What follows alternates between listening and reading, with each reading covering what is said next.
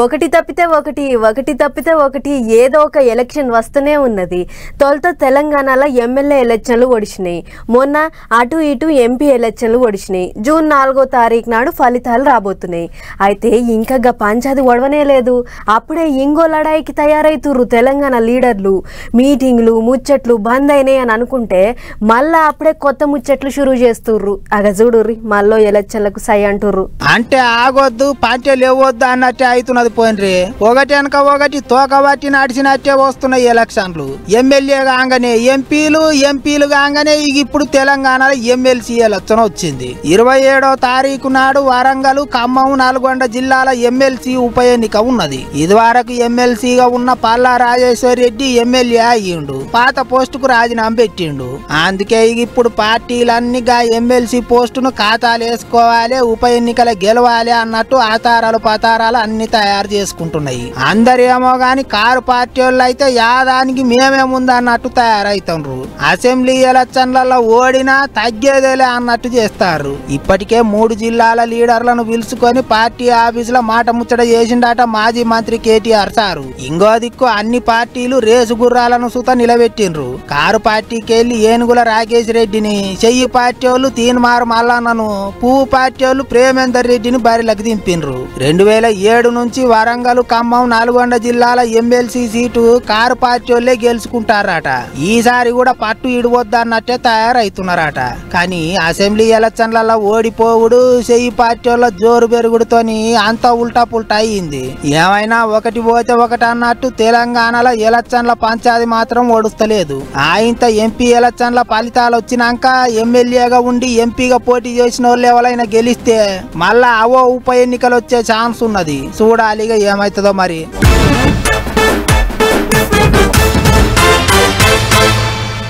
పాలోని పగ కాట్లకు పోయినా తీరదంటుంటారు. పాలోళ్ళ పగ ఏమో రాజకీయ నాయకుల పగలు చిన్నగా ఉండవు. పక్క పార్టీ వాళ్ళని చూస్తే అస్సలు ఓరువరు. ఓట్ల ముంగట ఏడ్నో కడ చిన్న గోలైతే దాన్ని శిలికి శిలికి పెద్దది చేస్తారు. ఓట్ల మీద పోవాలని కడుపులు ఉన్నదంతా బయటికి తీస్తుంటారు. అగో అట్లనే అవుతున్నది ఇప్పుడు ఏపీలో.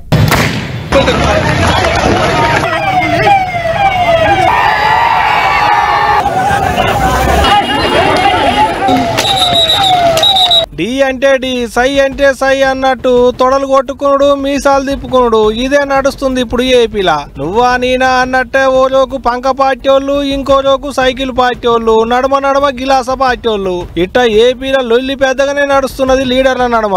చక్కదనాల రాష్ట్రాన్ని రావణ కాష్టం లెక్కనే చేస్తున్నారు ఈ లొల్లులు చేయంగా పల్నాడు గుంటూరు తిరుపతి జిల్లాలలో ఇగింత ఎక్కువనే నడుస్తున్నది లొల్లి. చంద్రగిరిల లీడర్లు ఒకరి మీదకొకరు రెంకెలేసుకుంటున్నారు. రాజీ చూసుకుందామా అన్నట్టే బడతలు అందుకొని బజార్లు ఎక్కుతున్నారు. పడిబడని పార్టీలోడు కానొస్తే చాలు. వాడు మంచోడా షెడ్డోడా అని చూసేదేం లేదు. జొన్న సొప్పని దంచినట్టే దంచుతున్నట ఇగటు మాచర్ల నియోజకవర్గంకి వెళ్ళబోతే మనుషులు ఎవరు బయట కానొస్తలేరట. గల్లీ గల్లీకి మూల మూలకు సందు సందుకు ఏడ చూసినా పోలీసు వాళ్ళే ఉన్నారట. ఈ లొల్లులన్నింటినీ ఆపేతందుకు అక్కడి ఎస్పీ సార్ ఏకంగా గాన్నే మకాం వేసిండట నేను ఒక సుదీర్ఘ రాజకీయ వ్యక్తిగా వీటిని ఎవరూ కూడా ఉపేక్షించలేదు అలాంటి సంఘటనలకి మా పార్టీ ఎప్పుడు కూడా దాన్ని సమర్థించదు. ముందుగానే మా కార్యకర్తకి మా మా వాళ్ళ సమన్వయం పాటించాలని చెప్పాము. వీళ్ళు ఆక్రోషంలో ఉన్నారు. వీళ్ళు ఓడిపోయే స్థితిలో ఉన్నారు. సానా అందుకు స్థానం కోల్పోయి వాళ్ళు ఏదైనా అన్నా సరే కొంచెం తగ్గి ఉండమని చెప్పి ప్రతి వారికి చెప్పాము. ఇక ఇది ఇట్టుంటే ఇంకొన్ని దుక్కుల్లో ఏకంగా బాటిల్ బాంబులే పేలుతున్నాయి. సాటు సాటుకు నిలబడి బాంబులు ఇచ్చేసుకుంటున్నారు బండ్లు తగలబెట్టుకుంటున్నారు బస్సుల అద్దాలు వలగొడుతున్నారు. బడితలు అందుకొని బాదుకుంటుంటే తలకాయలు టెంకాయలు పగిలినట్టే పగులుతున్నాయి. దొరికినోని దొరికినట్టే పొట్టు పొట్టు బాతులు కాళ్ళు ఇరిగేది చూస్తలేదు చేతులు ఇరిగేది చూస్తలేదు పానాలు పోయేది చూస్తలేరు. అందుకనే చానా దుక్కుల్లో నూట నలభై నాలుగు సెక్షన్లు పెట్టిరట పోలీసార్లు. అడుగడుగున పోలీసు వాళ్ళు ఉండుకుంటా పొద్దు మాపనకుండా కావలి కాస్తున్నారు ఇట్ట రాష్ట్రం అంతా బగబగ రగులుతుంది. నిప్పు కణికల మీద ఉప్పు రవ్వలేసినట్టే మండుతుంది రాష్ట్రం అంతా. ఓట్లయితే ఒడిసినాయి కానీ ఈ లొల్లులే అసలు ఆగుతలేవు. చూడాలి మరి ఎప్పుడు చల్లబడతారు ఏంది అనేది కానీ ఇప్పుడే ఇట్టున్నదంటే రేపు గెలిపోవటములు తెలిసినాక ఇంకెంత ఉంటుందో అనుకుంటున్నారట రాష్ట్ర పబ్లిక్ చూడాలి ఎట్టుంటుందో అప్పుడిగా. ఈ ఎండాకాలంలో కూడా చెమటలు పట్టకుండా చాలా మందిని చల్లగా అటు ఇటు తిప్పింది మెట్రో రైలు. ఓ దిక్కు బయట ఎర్రటి ఎండలు కుత కుత ఉడికిచ్చిన పట్నం పబ్లిక్ మాత్రం మెట్రోలో హాయిగా తిరుగుతున్నారు. మెట్రో రైలు ఎక్కి తిరుగుడు అందరికి పగ్గలవాటైంది అయితే అంత మంచిగానే ఉన్నది కానీ ఈ నడమ మెట్రో బంద్ అవుతున్నదట అమ్ముతుర్రాట ఇక నడవదట అని అంటుర్రు కదా చాలా మంది. అంత పూట్ పూట్ అవుతుంది కదా. మరి ఇక ముచ్చట్లేంటియో ఒక్కసారి అరుసుకొని వద్దాం పార్రే. దినాం కిక్కిరిసి తిరుగుతాన్రు శాంతి లేకుండా నిలబడతాన్రు కిటకిట కటకట అనుకుంటాన్నాం గాని మెట్రో రైలు ఇంకా లాసులనే నడుస్తుందట. మొన్ననే ఆఫీసర్లు అంత లాస్ అయితాంది అమ్ముకుందామని చూస్తాన్నాం అన్నట్టు మాట్లాడినరు కదా.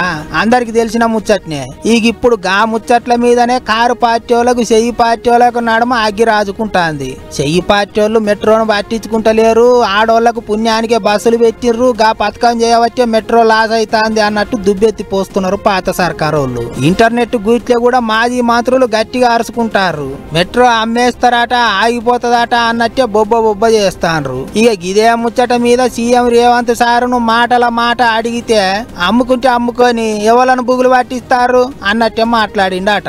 మెట్రోను ఎట్లా నడిపియాలనో తెలుసు అన్నట్టు చెప్పిండట. ఇప్పుడున్న కంపెనీ పోతే దానికంటే తీసుమార్ కంపెనీని పట్టుకొస్తాం అన్నట్టు కూడా చెప్పుకొచ్చిండట.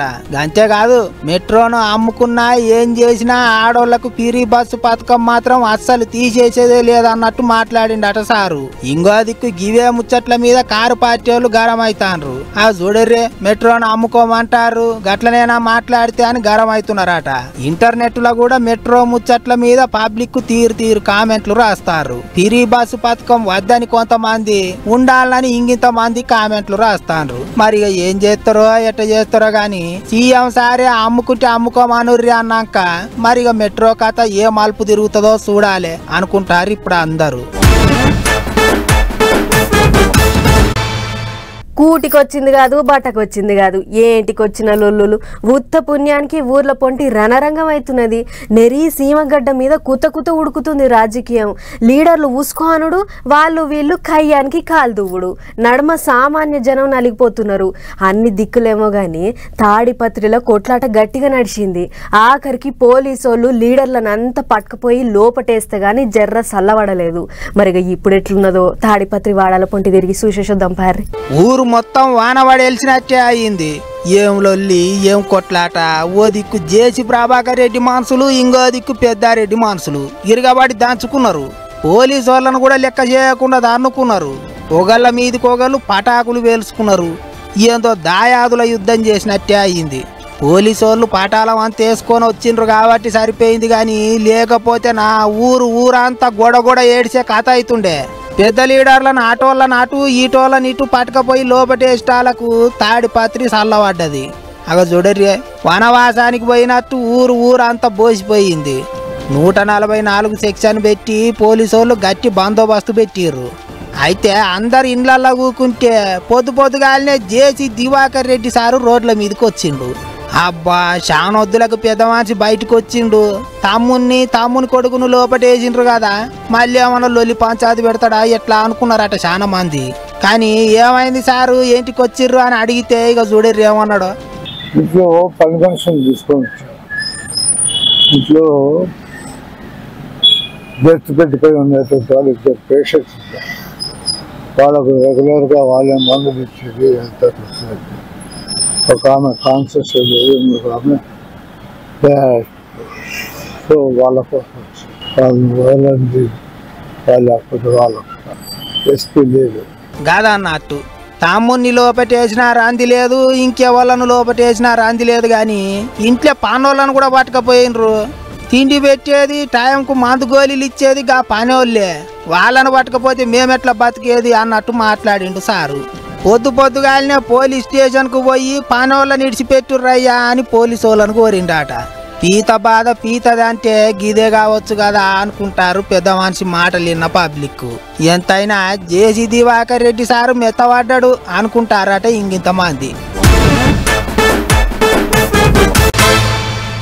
హలో ఏ ఏడున్నవే? ఈ వారం మంచి సినిమాలు ఏమన్నా ఉన్నాయేమో చూడు. శుక్రవారం అన్నాడు కొత్త సినిమా ఏమొస్తుందో చూసి టికెట్లు బుకింగ్ చేయి. పొద్దుగానే పోదాం. ఏంది? నువ్వు రావా? హలో? ఇగో సుమా నువ్వైనా రావే సినిమాకి పోదాం. అబ్బా నువ్వు కూడా రావా? అయితే మా కిట్టుగానికి చేద్దాం మాకు అరే కిట్టు శుక్రవారం నాడు సినిమాకి పోదాం మనం సరేనా? ఏంది? ఏమంటున్నావురా? థియేటర్లో లేవా? ఎవడ్రా నీతో చెప్పింది బండోడా? అబ్బా పోక పోక సినిమాకి పోదాం అంటే థియేటర్లు బంద్ అంటుండు మా వాడు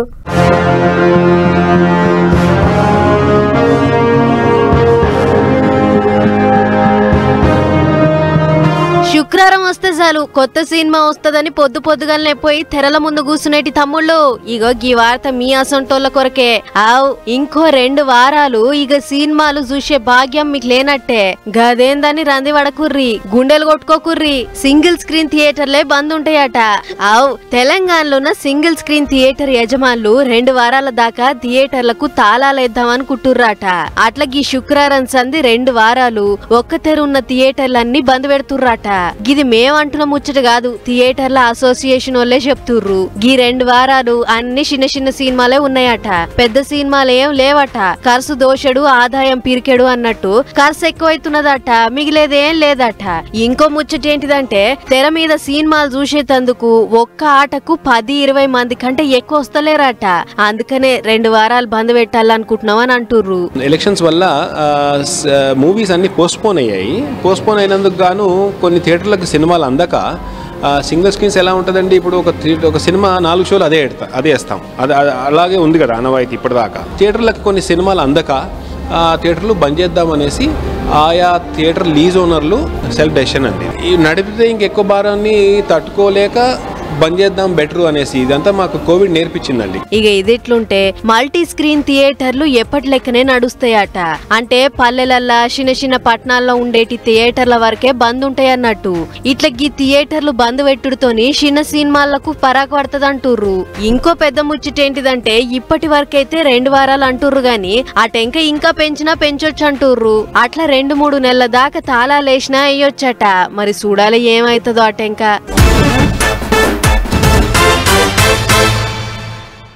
కాడు పుచ్చించుకుంటే కాళ్ళ మీద పడుతుంది అన్నట్టు తయారైంది రైతన్నల పరిస్థితి. బంగారం అసొంటి పంట చేతికొస్తుందని ఆశగా ఎదురు చూస్తున్న యాళ్ళల వడగండ్ల వానలొచ్చి ఆగం పట్టించినాయి. నోటికాడికి వచ్చిన ముద్ద నేలపాలైనట్టు కండ్ల కళ్ళ ముంగటనే కష్టపడి సాగు చేసిన పంట పాడైంది. ఏం కాదు రందేం లేదు తడిచిన ధాన్యం కూడా కొంటామని సర్కార్ వాళ్ళు చెప్తుర్రు. కానీ అటు దిక్కు తొంగి చూసిన వాళ్ళు కూడా లేరని పాపం రైతన్నలు మస్తు రంది పడుతుర్రు. చూడుర్రి అలా గోస ఎట్లున్నదో. రాస్తా మీద బండ్ల అడ్డం పెట్టి నడు రోడ్డు మీద కూస్తున్నారు రైతన్నలు. ఏం చేస్తారు మరి? వాళ్ళ తిప్పల వాళ్ళకున్నది కాంటాలు అయితే లేవాట ఓట్లు కొంటలేదట నడమ నడమ చెడగొట్టు వానలతోని కళ్ళాలల్లా పోసిన ఓట్లు తడిసి ముద్దయితున్నాయట తడిసి ముద్దైనా కొంటాం మొలకలు వచ్చినా కొంటాం అని సర్కారు వాళ్ళు అయితే చెప్తున్నారట కానీ అధికారులు ఆటికెల్లా చూసి మూతులు తిప్పుకొని పోతున్నారట.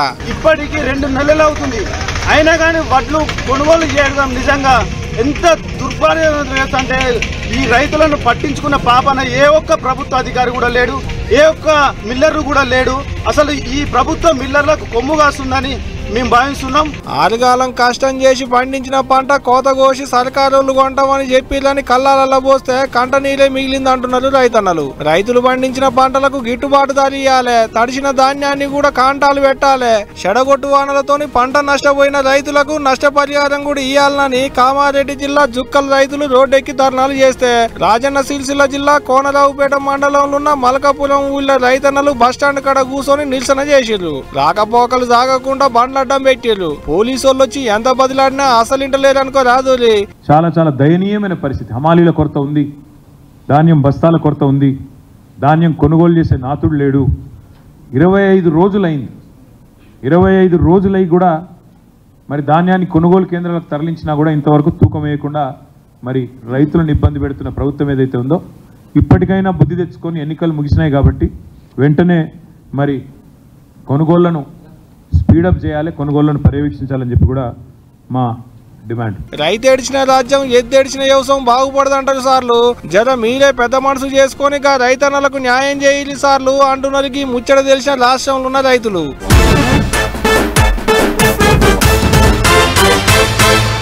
అది గిదే టైంకు మా ఊళ్ళో పోలేరమ్మ జాతర చాలా గొప్పగా జరుగుతుంది. ఏం జనము ఏం జనము? దర్శనం కావాలంటే నాలుగైదు గంటలు పడుతుంది. చిన్నగా ఉన్నప్పుడు మా దోస్తులతో పోయి దుక్నాలల్లా తిరుక్కుంటా మిఠాయిలు కొనుక్కొని తినేదాన్ని. ఎండాకాలం బళ్ళు లేవు కాబట్టి పొద్దంతా జాతరలనే తిరిగి మస్తు సంబరపడేదాన్ని.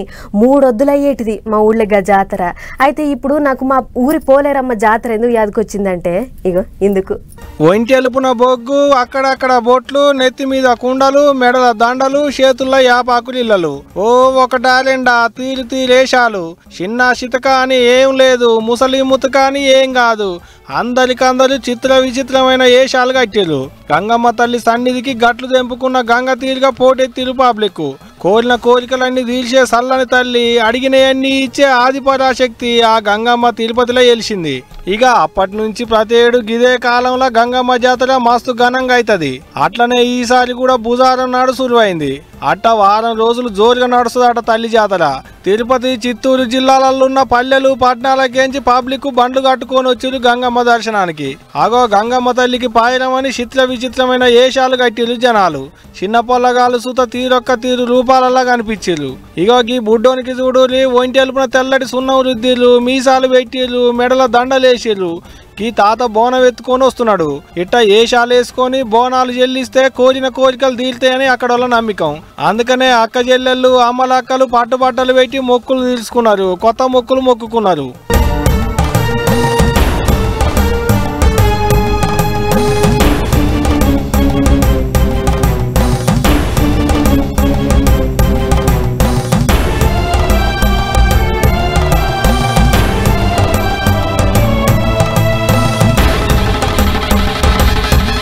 తిరుపతి ఎంకన్న చెల్లె గంగమ్మకు గీ తీర్ఘ పబ్బది పట్టిరు పబ్లిక్ అందుకనే ఎంకన్న సన్నిధికేంచి గంగమ్మకు సారెలు కూడా వస్తాయట ఇక రెండో నాడు బండేశం మూడో నాడు తోటి వేషం నాలుగో నాడు దొరవేషాలు కడతారట భక్తులు. ఇట్టనే రోజుకో తీరేషాలు ఉంటాయట ఎనిమిది వద్దులు ఉండేటి ఈ జాతర మస్తు ఘనంగా అవుతుంది దగ్గర బట్టలు ఉన్నోళ్ళు ఉంటే ఓ పాలు పోయి రాలి నిమ్మలం ఉంటే మీరు కూడా ఒక ఏషం కట్టుకోరి ఏం కాదు అంత పుణ్యమే అవుతుంది అంటున్నారు ఏం చెప్తున్నా?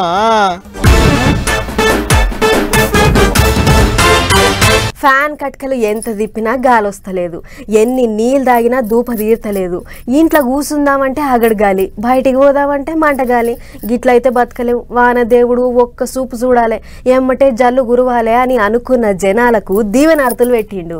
అట్లా మొన్న ఓ జల్లు పడి జర్రంతా సల్ల సల్లగా అయింది అన్నట్టు ఊకే నన్ను తలుచుకోకుర్రి గీతాప సూరన్నకు దబ్బునే రెస్ట్ ఇచ్చి నేనే డ్యూటీ ఎక్కుతున్నా అని అంటుండట వానదేవుడు ఏప్రిల్ నెలల్నే ఎండలు ఏగిచ్చినాయి. ఇక మే నెలలా ఈగింత దబాయించి కొడతాయని అనుకుర్రు అందరూ. కానీ ఎందుకో కాలం తీర్ల మరలైతుంది రోడ్లు వలిగే ఎండలు కొట్టాల్సిన సమయంలా జర్రంత సలసలగానే అనిపిస్తుంది.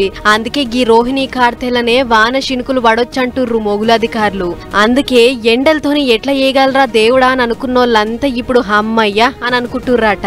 ఇప్పటికే ఎండ మోక తగ్గి అగడు వెనక గుంజింది. మొన్నటి దాకా కనకనమని మండిన సూర్యుడిగిన నాకు జర్రంత సుస్తైంది అన్నట్లు సెలవు తీసుకోబోతుండు డ్యూటీ చేసి చేసి అలసిపోయినావు. నువ్వు జర రికాం తీసుకో నేను డ్యూటీకి ఎక్కుతా అన్నట్లు వానదేవుడు కొలువుకెక్కబోతుండు. దీంతోని వానాకాలం గీ తాప జర్రంత ముందుగానే షురు కాబోతుందట. ఇంకొన్నొద్దులల్లనే నైరుతి ఋతుపవనాలు సొచ్చుడుతోని వానలు గట్టిగానే పడతాయి అంటుర్రు. ఇక కుల్లం కుల్లం చెప్పాలంటే మే నెలల ఈ సమయానికి రోళ్ళు కాదు కదా పెద్ద పెద్ద గుండ్లు కూడా పక్కున వాళ్ళకి ఎండగొట్టాలే. కానీ ఎండ యాళ్ళకు వాన కొడుతుంది. వాన పడుతుందన్న యాళ్ళకు ఎండ దంచుతుంది. ఏమన్నా గాని గాని ఈ ఎండల అగడుకి ఓపలేని జనాలకు వాన జల్లులు పడతాయి అనేది జర్రంత నిమ్మలం అనిపించే ముచ్చటే. అంతేకాదు మునుపటి కంటే గీసారి వానలు ఈగింత దండిగానే పడతాయట. నిన్ని అలా చూస్తుంటే ఎండల షెగ కూడా జర్రంత గుంజి వానాకాలం అప్పుడే షురువైతుందా ఏంది అని అనిపిస్తుంది. చూడాలి మరిగా ముందు ముందు ఏమైతుందో. గీ నడుమ మందుల కూడు చేయంగా నలభై యాభై ఏళ్ళకే లేని లేని నొప్పులు రోగాలు దాపరమవుతున్నాయి. కానీ ఒకప్పుడు ఎట్లుండే? రాగి సంగటి జొన్న గట్క రొట్టెలు తినుకుంటా ఒక్కొక్కరు ఏం తక్కువ తొంభై వందేళ్ళ దాకా బతికేటోళ్ళు. ఆగో అట్లనే ఓ తాత సెంచరీ కొట్టి ఇంకో సెంచరీ వేస్తా అన్నట్టు తయారవుతున్నాడట ఇంకో సెంచరీ అంటే కొంపదీసి రెండు వందల ఏండ్ల ఏంది అని అనుకుంటుర్రా? నేను చెప్పుడెందుకు? ఇగో చూడుర్రు మీరే. ఏమయ్యా పిచ్చి మంచిగుందా? ఏం పేరు వచ్చిండా దగ్గర దగ్గర ఎవరు ఉండొద్దు. అందరినీ తాడవతలనే ఉండమని చెప్పుర్రి అన్నట్లు ఒకటి షెండు దేకుర్రి ఓ రెండు మూడు షెండ్లు తయారుంచుర్రి. ఎందుకంటే కొట్టే షాట్లకు బాల్ ఎక్కడ పడుతుందో నాకే తెలియదు అన్నట్లు కాలు రెక్కలు సాఫ్ చేసుకొని కాళ్ళకు ప్యాడ్లు కట్టుకొని చేతుల బ్యాట్ పట్టుకొని వస్తున్న గీ తాత పేరు హజీ కరందిన్ నూట రెండేళ్ళున్నాయట తాతకు. జమ్మూ కాశ్మీర్ రాష్ట్రంలో ఉన్న రియాసి అనే జాగలో ఉంటాడట.